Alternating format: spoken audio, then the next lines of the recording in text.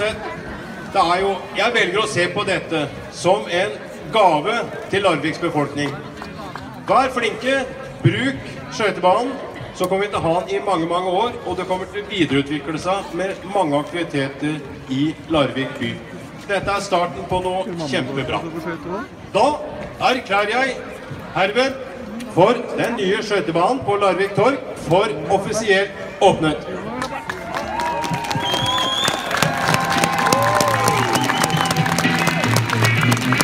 Da er det bare å trekke ut på ballen! Vær så god, Larvik!